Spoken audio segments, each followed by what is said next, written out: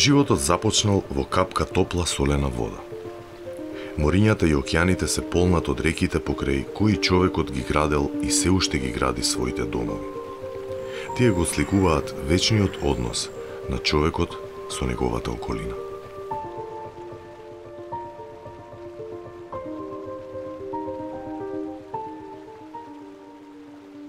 Илјадници жители директно зависат од реките преку енергетиката, водоснабдувањето, земјоделието и туризмот.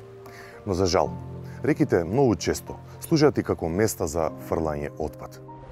Лошата состојба на реките директно влијае врз почвата и врз воздухот, а оваа состојба таа ја пренесува до соседните градови, но и држави.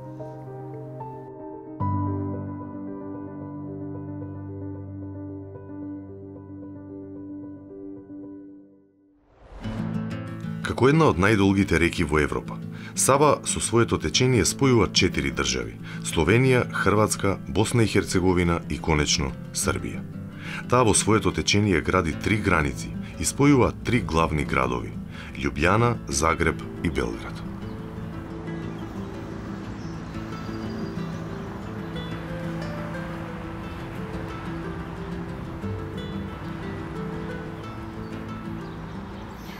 Сава дава вода на секаде каде што тече низ Балканот.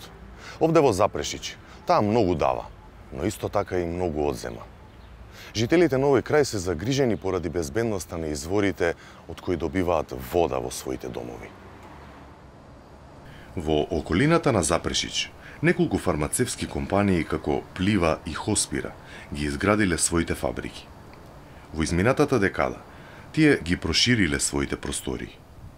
Граѓаните, чувствувајќи ги промените во воздухот, се организирале под името Еко Запрешич. Ружа Катич е преседателка на ова здружение и се обидува да ја крене свеста за штетата која тие ја нанесуваат. Budući да смо поединачно дошли до неких спознаја да се иде у проширење plive, pokušali smo doći do nekih dokumenata, do spoznaja i osnovno što nam je bilo pokazatelj bila je jedna studija koju je radio Ruđer Bošković vezano za analizu mulja iz potoka Gorjak. To je potok u koji je farmaceutska industrija ispuštala vode e, do tad, sve zagađene vode bez ikakvog pročišćavanja u biti skoro pa niko nije ni radio kontrolu. E, industrija je ispuštala vode onakve kakve su išle iz pogona, bez pročišćavanja, bez ikakvih praćenja, bez ograničenja. Išlo je sve potokom do Save, Savom nizvodno do Dunava i do Crnog mora. Што на крај smo сазнали да su унутра, из тих анализа smo видели да su унутра канцерогени, мутогени, елементи кои заиста остављају dugoročno трага на околиш и на луѓе и životinje. Градот Запрешич се снабдува со вода од црпилиштето Шибице. Подземните текови на овој градски бунар поминуваат токму под фармацевските фабрики. Поради тоа, Ружа Катич одбива да пие од водата во својот дом, а голем дел од граѓаните веќе не ја користат Сава ниту за пливање, ниту пак ја користат водата за пиење. Ljudi se već godinama, već desetljećima ne kupaju u Savi. Niko ne radi ta ispitivanja. Koliko citostatika imamo u Savi? To je jedan od, od, od važnih, ključnih elemenata. Mi kao građani nemamo novaca da to isfinanciramo. To su veliki projekti, tu moraju raditi znanstvenici. Институтот Руđер Бошковиќ е најголемиот научно-истражувачки центар во Хрватска. Доктор Николина Колич е раководител на лабораторијата за микробиологија и биотехнологија и е дел од истражувачкиот тим. Прикупили смо узорке отпадних вода voda tijekom četiri sezone, znači zima, proljeće, e, ljeto i jesen. I u isto vrijeme smo prikupili površinsku e, vodu rijeke Save i sediment na različitim lokacijama. Ono što smo utvrdili je da tijekom dvije sezone, konkretno zime i proljeća, su koncentracije oba antibiotika u otpadnoj vodi bile razmjerno visoke, do tisuću puta veće od onih koje su tipično prisutne u otpadnim vodama iz gradskih uređaja za pročišćavanje otpadnih voda i u bolničkim otpadnim vodama. Potom u rijeci Savi, također u površinskoj vodi smo također tijekom te e, iste dvije sezone mjerili značajno povišene koncentracije oba antibiotika na lokaciji ispusta i nizvodnim lokacijama u odnosu na uzvodnu lokaciju. E sad opet, dakle, ne postoje zakonski propisi koji e, propisuju maksimalno dopuštene koncentracije antibiotika u okolišu, međutim koncentracije koje smo mi tada izmjerili su i do 120 puta više od koncentracija koje su bezopasne za razvoj rezistencije. Prema tome, takve koncentracije koje smo izmjerili u Savi nose sa sobom rizik e, razvoja rezistencije na e, antibiotike među bakterijama. Bitno je da e, znanstvenici prezentiraju svoje rezultate javnosti, da osvijeste potencijalne opasnosti i potencijalne rizike e, do kojih dolazi uslijed evo, primjerice ovakvog zagađenja e, okoliša, a onda se na temelju tih rizika trebaju treba dalje postupati i, i propisati zakoni kojima bi se onda suzbilo takvo zagađenje i opasnosti za ljudsko zdravlje, a i za zdravlje okoliša.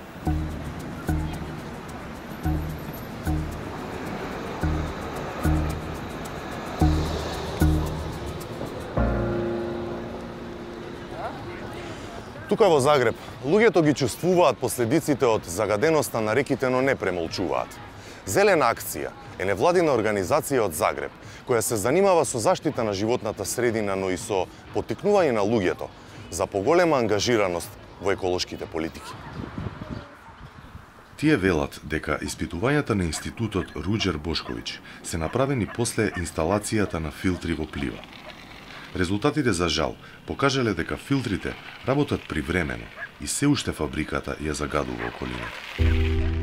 Заправо било очито да тај проблем ние ние до краја решен. Е, граѓани су наставили е, prosvjedovati oko toga. Pridružile su im se u tome i e, različite inicijative i udruge, između ostalih e, i Zelena akcija koja je 2012. sudjelovala i zapravo u dvije sudske tužbe e, koje su se odnosile zapravo na proširenje plivinog kompleksa. Nažalost, oba dvije tužbe su odbačene i taj e, kompleks je zapravo izgrađen, iako to ne bi trebao biti na tom području niti prema zakonu, a niti prema e, tadašnjem prostornom planu. Ne mislim da je to nekakva ono boljka koja ima veze sa, ne znam kako se to često prikazuje, sa nekakvim našim mentalitetom ili nečim, nego mislim da je to jednostavno da su političari svugdje eh, izloženi različitim pritiscima i da u principu eh, se povinuju ono najjačem pritisku. I mislim da je možda glavni problem upravo to što mi imamo još uvijek relativno slabu razvijenu tu nekakvu kulturu prosvjeda u odnosu sa recimo nekakvom zapadnom Europom i da dokle god ono, ljudi ne, ne izvrše jači pritisak na političare od nekakvih drugih interesnih lobija, oni će raditi u interesu tih lobija. Додека жителите на Хрватска се обидуваат да изнудат од власта мерки и закони за заштита на Сава, таа продолжува со својот тек во соседна Србија, каде се соочува со нови предизвици. Нови пейсажи и нови предели, но и нови извори на отпад.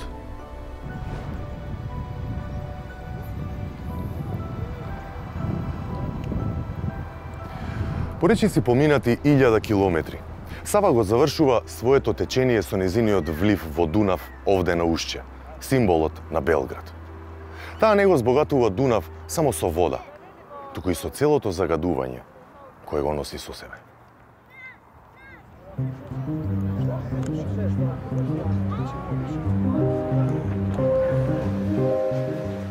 Професорката Војновиќ Милорадов Како почесен професор, работи на многу истражувања со своите студенти и соработници.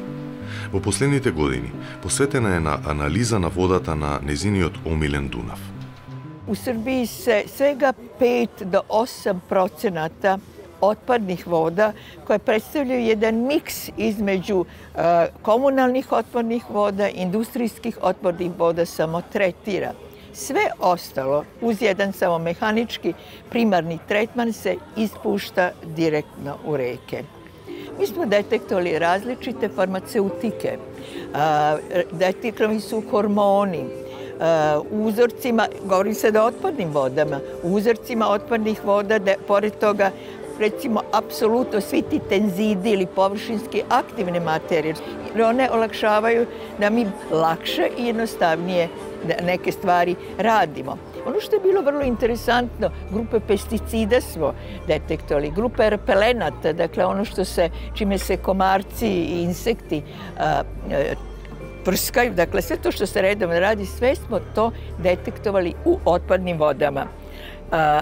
Nama je sada dalje bio cilj da pokušamo da vidimo da li ćemo iste te substance detektovati i u, površinskoj vodi, ne samo u otpadnoj. Dakle, preko 150 različitih substanci je detektovano u otpadnoj vodi. 50% tih substanci je dakle, da, pušteno dalje na target analizu, ciljanu analizu i mi smo gotovo sve njih kvantifikovali istina u tim vrlo, vrlo niskim, subniskim koncentracijama gde sada se pojavljuje jedan nov fenomen te sve substance koje sam ja govorila, koje pripada ovim različitim klasama jedinjenja, pripada jednoj novoj grupi jedinjenja koja je poznata poslednjih deset godina, nazivaju se engleski su to emerging substances. Mi smo i preveli prvi emergentne substance i to su stare substance ili substance u pojavi koji imaju vrlo, vrlo specifične karakteristike za razliku od drugih toksičnih substanci koje mi pratimo. Prvo, oni pored bioakumulacije, biokoncentracije, bioma, biomagnifikacije, to znači oni se kumuluju u masnom tkivu kako životinja, tako isto i u čoveku. I to se kumuluju u masnom tkivu jer su one lipofilne i rastvaraju se u masnom tkivu. Dakle, to su sve fenomeni o kojima mi moramo da vodimo računa.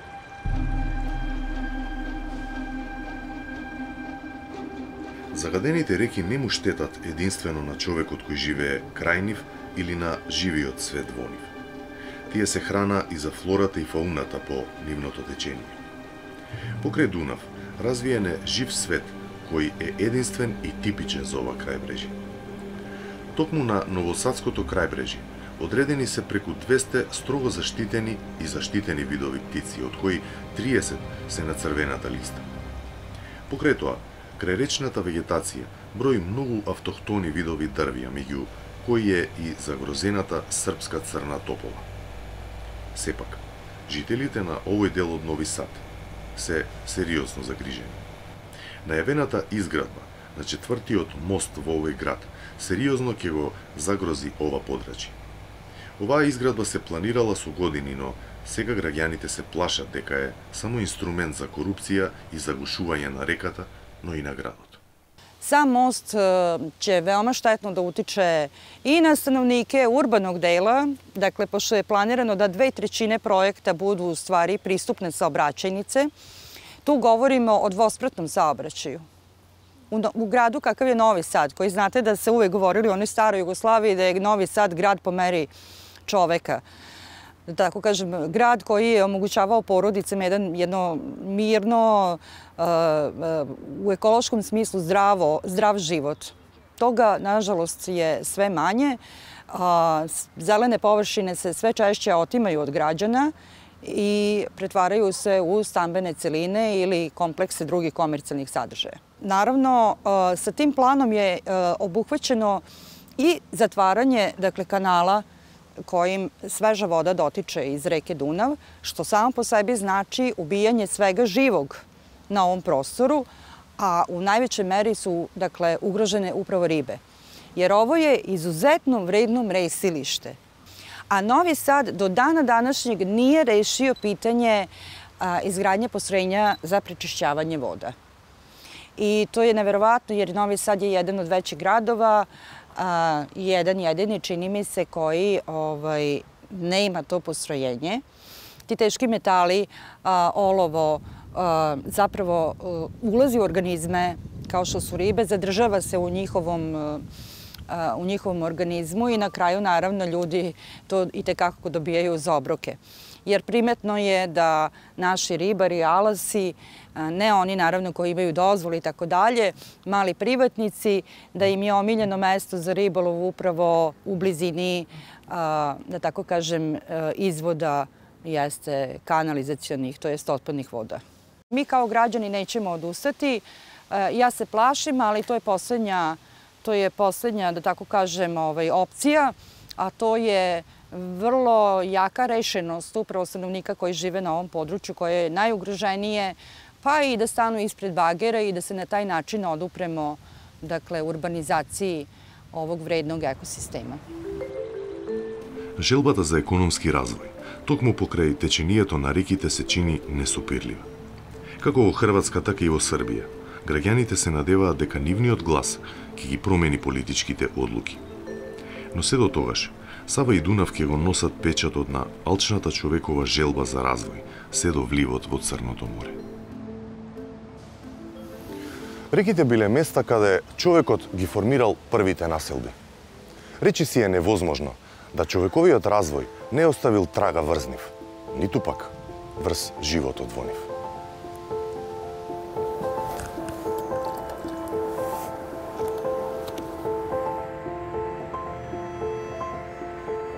Македонија го има изворот на реката Вардар, Вруток, и најголемиот дел од незиното течение е токму на оваа територија. Поминува низ три македонски града пред да ја напушти земјата и во Грција да се припои кон Егејското море. Додека уживаме во морските води на лето, редко помислуваме на тоа дека всушност неговиот басен е надополнет со водата од Вардар, вода за чиј квалитет се чини свеста е се уште ниска. Овој наш символ е значаен екосистем кој го пулниме со отпад уште од неговиот извор. Универзитетски професори уште од 2007 година ја испитувале водата во Вардар во Скопскиот регион. Барале во неја концентрација на тешки метали, се со цел да ги одредат изворите на загадување. Предпоставката им била дека водата пред се е загадена од човекот и затоа се фокусирале на анализа во најурбаното место во Македонија, во Скопје. Земени се примероци од повеќе локации во пет наврати, помеѓу март и мај во 2007 и во 2013 година. Водата која била анализирана е земена на 10 сантиметри од дното на реката, на 1 метар од брегот. Резултатите покажале нерамномерна распределба на металите на Вардар во Скопскиот регион. Ова значи дека некаде концентрацијата на железо е многу висока, а некаде преовладува хром, олово или никел. Односно, водата на Вардар некаде е вода од прва класа, а некаде е вода од пета класа. Но во секој случај, резултатите од 2013 година покажуваат подобрување во однос на оние од 2007. Но од тогаш па наваму, ситуацијата воопшто не е иста. Институтот и Центарот за јавно здравје Скопје на годишно ниво земаат стотина мостри од Вардар со цел испитување на квалитетот на водата. Она што го пронашле во изминатите две години е зголемена количина на тешки метали, фекални води и бактерии. Подобрувањето кое било забележано во 2013 година повеќе не се повторило. Во Скопје имало, да кажеме, минатото и чак и некојаш и жива, али тоа било многу одамна. Кога беше хаваријата во близина на Охис, истечен жива, едноставно. А, сме наоѓале други тешки метали, олово и кадмиум, после велес непосредно во водата доека работеше топилницата. Кога престана да работи топилницата во водата, значи во самата течение не сме наоѓале тешки метали, но во седиментот има. И тоа е проблем кој е теоретски опасен, практично да кажеме, не е толку тие тешки метали што се во седиментот, не се толку ризични зашто се врзани, да речем, до некаде во седиментот. Но секоја турбуленција поголема, поплава или оно, веќе ги прави едноставно ги меша водите и тоа што постои исто така едноставно контаминации на самиот брег, да кажеме, на почвата. И доста земјоделци ја користат водата за наводнување од реката, што е ризично од аспект на бактериологија и вирусологија, затоа што ако одгледуваат земјоделски култури кои не се термички обработуваат, значи кои се јадат во свежа состојба. Самото влегување во водата на тие рибари или луѓе што сакаат да се капат е ризично затоа што ако има ледирана кожа или оштетена кожа, може загадувањето, да кажеме некој паразит или некои да кажем заболувања да се пренесат преку самата кожа. Класифицирање на речната вода во пета класа ја прави истата неподобна за полевање на нивите, за пливање, а за пиење пак воопшто. Не се препорачува ниту пак риболов, бидејќи тешките метали во водата сериозно му наштетуваат на живиот свет во овој екосистем. Во светот се работени низа експерименти, истражувања на влијанието на тешките метали врз рибите. Кога имате излевање на еве на јаловиште со тешки метали, немате помор. Немате нешто што во моментот се гледа, каде што ќе може да се интервенира, затоа што тоа не се отрови кои што се акутни и не убиваат во моментот. Меѓутоа, нивното влијание и дејство е долготрајно. Може да поминат и години и да се поремети целиот екосистем. Зашто? Затоа што тоа се во основа отрови кои што се а, акумулираат во одредени делови на, на рибата. Најчесто места каде што се акумулираат се црниот дроб, бубрезите, срцето, коскената срцевина и влијанието нивно врз рибите е, е катастрофално. Рибите стануваат а, подложни на различни видови заболувања, рибите стануваат во основа стерилни тешките метали влијаат на формирањето на гонадите, влијаат негативно на формирање на сперматозоидите и вие имате во еден временски период од 5 до 10 години нема подмалок. Едно од решенијата за да се направи водата во Вардар вода од втора категорија и со тоа да биде поволна за наводнување е секако прочистителна станица. Овде во Скопско Трубарево треба да почне изградба на прочистителна станица кон крајов на годинава, а да биде готова за најмалку 4 години од сега. Низ течението на Вардар треба да се изградат неколку прочистителни станици, но за жал, ова останува само идеја запишана на хартија. Се изгради пречистителната станица во Гевгелија, Меѓутоа, тоа е недоволно. Недоволно, имајќи предвид дека градовите растат и дека на тој начин се зголемува количината на испуштени, непречистени фекални отпадни води од канализацијата, а од друга страна се случува во периодот кога е време на овие а, конзервната индустрија, кога подготвува производи, нели, ајвар, лутеница и така натаму, да се заглави пречистителната станица, да не може да работи од семки и лушпи од пипер и друг зеленчук кои што се испуштаат во канализација. А од друга страна, протоците на реките постојано се намалуваат заради сушите и климатските промени. Токму во оваа состојба, Вардар ја напушта Македонија и влегува во Грција. Оттаму со низиниот влив во Егејското море, го носи сиот отпад во големото синило.